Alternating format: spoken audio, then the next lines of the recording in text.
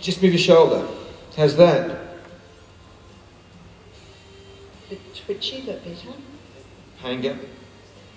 How- how- How's the shoulder? Good. This. Let twitching go. And go to papers, never come back. So often I lay hands on people. You know, we have an anointing. And that's released by faith. Now keep in mind, the anointing is not released by sympathy or motion. Simple thing to go, oh God. No, yeah, honestly, we, we can feel, feel for people, but that way healing is by faith.